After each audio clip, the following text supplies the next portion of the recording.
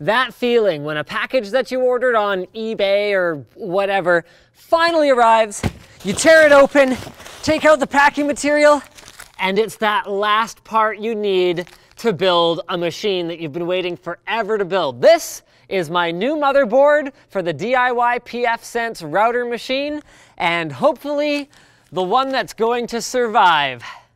Drop a like on the video if you like that feeling as well, and drop a dislike if uh, you hate seeing me kill hardware.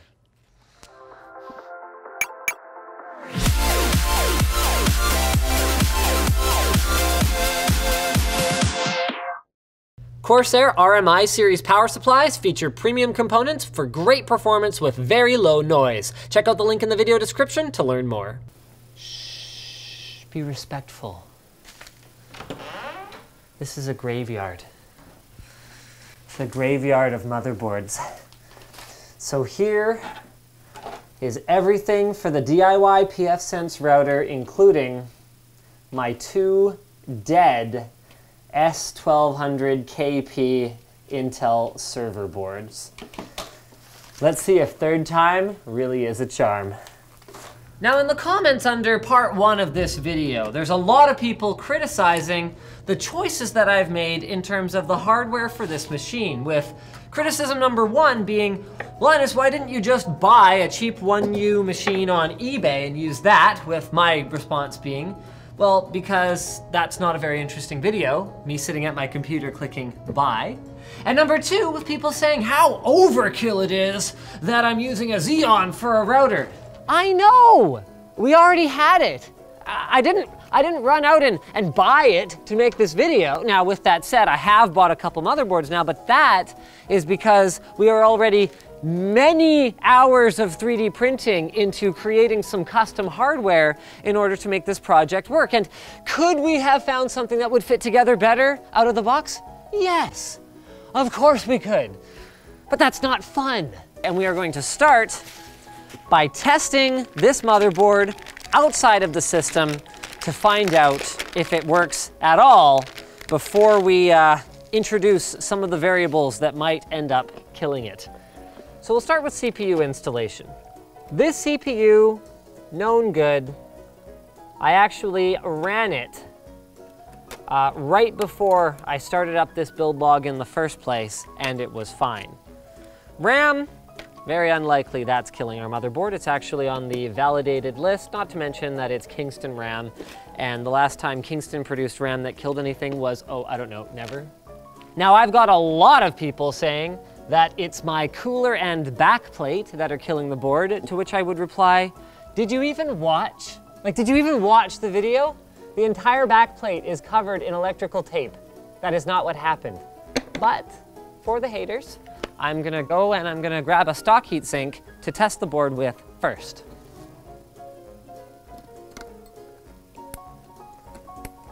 For extra safety, I'm gonna try a standard desktop power supply next. Now I don't think the problem is my power supply. What I think the problem is, is someone that almost nobody in the comments actually picked up on, and that is this four pin connector that comes off of the 1U power supply that I plugged into a fan header on the motherboard that I checked with a multimeter later and which appeared to be supplying rather than requiring power. No power to my mouse and keyboard. Why don't we start with different RAM and see how it goes from there. Now it's always possible when a motherboard dies that it can take other hardware with it. And I'm really hoping that it didn't kill our Xeon CPU. Let's try a different CPU. So now I've got a 3570K from the uh, CPU pile to try. The weird thing is with the other chip, I wasn't getting any beep codes, and it was warming up. It was actually getting power. Okay, this time it's failing post. New plan, it's quite possible that even though they're on the same socket, uh, this motherboard doesn't actually support the 3000 series processor. So I grabbed a 2600 and we're gonna take this baby for a spin. No power to the peripherals still.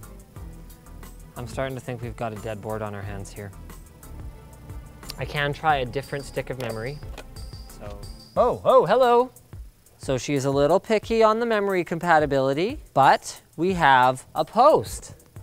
This is good news. Now let's try our Xeon chip with that RAM and see how that goes. I think we may have not only killed our board, but also killed our CPU and RAM. So we're going to the 2600 and the full height RAM, even though that's not really gonna work for the final build. I'm gonna give it a shot. First, I'm gonna try the 3570K to see if our BIOS update at the very least might have given us more options for newer generation processors to work in this board. So that's the end of that chapter. Now let's try the, uh, now let's try the original Xeon. Hey, all right. The RAM works, but the CPU is dead, which means I can build today and change out the CPU if I decide to do that at all Remember, Xeon for ECC support, so we're not actually taking advantage of the ECC memory. So if I decide to change out the CPU, I can do that at another time. All right, let's, let's, let's forge ahead then. I'm gonna give you guys a little lesson on electronics. A piece of plastic shroud over top of a speaker does not affect the functionality, as I will prove right now.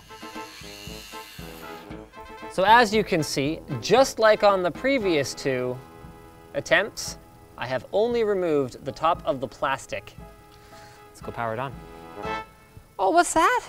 Oh, oh, cutting down, oh, cutting down the speaker doesn't do anything because why would it? I could rip the speaker right off and it wouldn't do anything. The speaker just wouldn't work. Huh, how about that?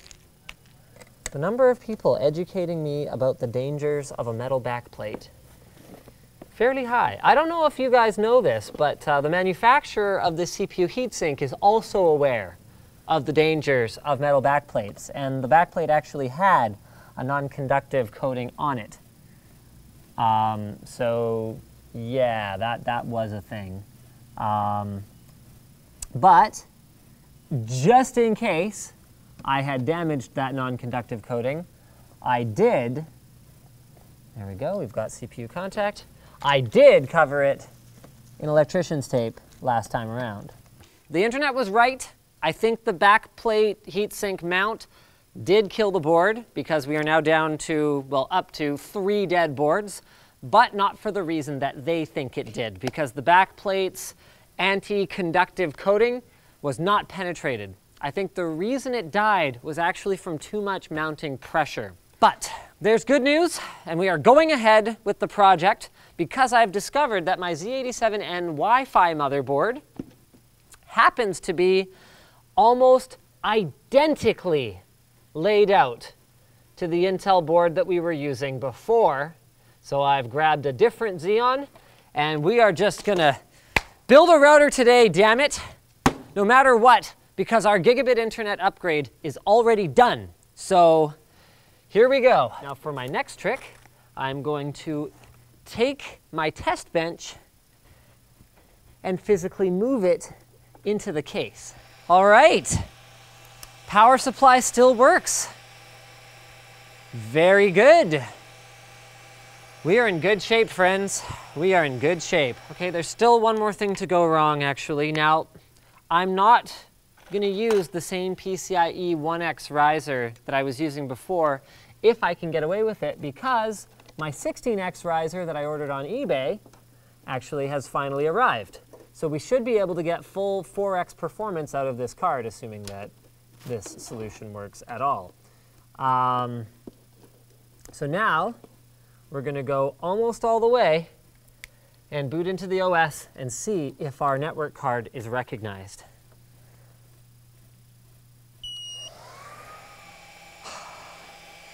Let's pull this back off. Oh, oh, I think that was plugged in kind of funny. Maybe that was the issue. All right. That was the issue. Just needed to reseat that puppy. And I really don't like that this keeps going load optimized defaults then boot. You stop that. What's your deal? So it actually blue screened even without our network card in there, which leads me to believe maybe it's something else. My Windows 7 bench drive could be just kind of flaky right now. So let's try my Windows 8 test drive. So we're booted into the Windows 8 drive. So we're going to try our network card again. If anyone from Microsoft is watching, why the actual if I start typing my password immediately on that screen and I only have a single user account on the machine, does it not just log me in? There's always like a quarter of a second delay and it misses the first character or two. Fix that. All of our network ports are showing up. It is time to actually install it inside the machine. So what I'm doing is I'm actually trying to jam enough wires through this gap that even if I accidentally press down on this tab while I close it, it actually can't open. Because that'll release my memory modules. Just for doing some, some quick testing here. So I'm gonna put this baby up here. Great. Oh, we're close. I can smell it. Now this is a cool thing about this case. You can actually install your expansion card either way, and I think we may be better served by doing it this way this time. So if I press on these, is it gonna move? Nope. It's finally here.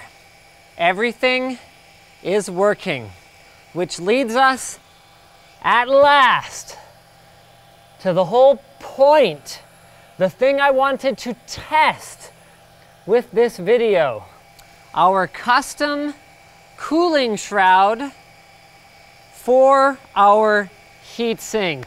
We need to test two different scenarios. Number one, how does it perform with only these high RPM fans pulling air from the front and blowing it out the back of the chassis towards our aligned CPU heatsink?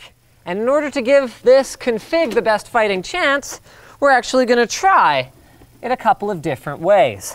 Because you can see the way the chassis is meant to channel airflow is in the front, slash top a little bit, and then out these ventilation holes at the back. So we can actually try it both with the whole thing open and with everything around the CPU heatsink itself actually blocked off so that we're getting more airflow through the fins of the heatsink. But let's try it completely open first. So our idle temps actually look pretty good, sitting in the 35 to you know 40 degree range. So for the sake of this video, I think we're going to use the uh, CPU package temperature here. All right, let's start a stress test and see what happens to that. Well, 65, still climbing. Uh, so what are our, so our hottest core is sitting at around 60 degrees, with the package sitting at 63. All right, we'll let that reach equilibrium and we'll come back in just a moment. Okay, small update. Temperatures are still rising. We've reached 70 degrees on the CPU package, 71 now. Okay, I think our maximum temps have settled in. Now, per my usual approach, I'm taking the highest number that it's recorded. So CPU package has spiked as high as an 80 degree reading. A little higher than I'd be comfortable with. With that said, this system's not gonna be under that kind of a load 24-7, but still, so we're gonna go ahead and we're gonna block off the holes that we don't want it using and see if that helps. Now it's actually kind of hard to tell from looking at these temperatures because they're kind of all over the place. But with our blocked off holes, you can actually see from the curve that shows all of the core temperatures that we're getting a little bit more empty space under that 70 degree mark right there. So I would say yes, we did get a few degrees improvement by using this approach. This is kind of a funny story. I've got the, uh, the architect uh -huh. of the fan shroud that we'll be installing for our second test. And uh, he was about to explain to me why one of the pieces of the shroud has Yeah. like this janky thing Yeah. cut in it. So when I was modeling it originally, I forgot that there's is it, I think it's this thing. Yeah. Yeah, this thing is right in the way. So oh look, it perfectly fits now. Okay, so we actually had to change the motherboard. Yeah, I know. So now my all my plans are are wrecked. Uh, all the original measurements, like, is it significantly different? Nope. Okay. So now that you moved that where it belongs, this shroud should fit very nice. Oh, look at how perfect that is. It's so perfect. And I gave this buffer room here, I didn't make it as long as it needs to be because it can overlap a little bit. Your modesty is So, truly amazing. Yeah. Uh, just be careful. Just. Okay, It's supposed to be flex room for it to be able to go in there. That fits. That's correct. Okay. Okay. Now, no, I, I want to do it. I want to do All it. right, I all do it. Note that the design still allows these three fans to cool the network card, although we did not determine that we needed a shroud for that. That I little that thing is in the way. I didn't model that, so it's uh, oh, well, it's supposed to be flush on the top. Uh, it's not the way I designed it, but yeah, I mean it. It's supposed to be flush. I mean, it's mostly flush. most of the airflow is going to make it to the All right, heatsink, I all think. right. Which is okay because it won't kill the system to have a little bit of airflow over here. Looks cool, doesn't it? All right, let's close it up and find out if our maniac scheme here worked. So for those wondering, we actually 3D printed this sucker on the Ultimaker 2 that we reviewed in the video that you can check out right over here.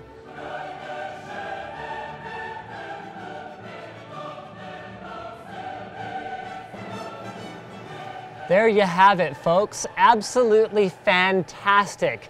By using our 3D printed shroud to direct more airflow towards our passive heatsink, we were able to drop our CPU temperatures by somewhere in the neighborhood of about 10 degrees, meaning that even under full load, I would be extremely comfortable running this system all the time. It took a long time for us to get here, but our router is finally ready to load up pfSense and deploy in the server room with our new gigabit connection. Woo!